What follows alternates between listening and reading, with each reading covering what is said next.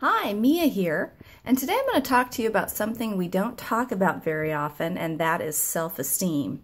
You know, it affects everything we do in our lives. Have you ever turned down an opportunity to do something fun because you didn't think you'd be good at it?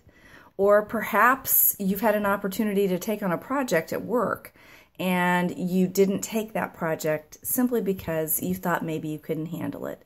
Well, we don't talk about self esteem, but it's a very important element in both our work and home lives. And so today I just want to talk to you a little bit about that.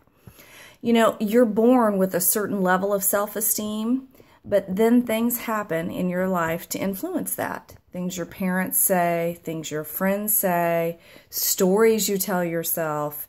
And in the end, you may be suffering from some low self esteem. And so today I want to talk to you a little bit about how you can improve your self esteem and thereby allow yourself more opportunities to do more things.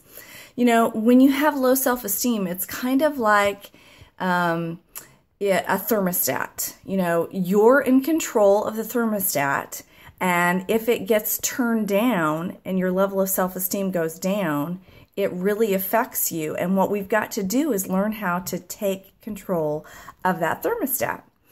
So, you know, everything in our lives affects our self esteem. Your job, your family, you know, it, it, feels like we can never get it all done. Whatever we do is never quite good enough. There's never enough time. Um, despite our best attempts, things don't always turn out like we want them to, and that can affect our self esteem.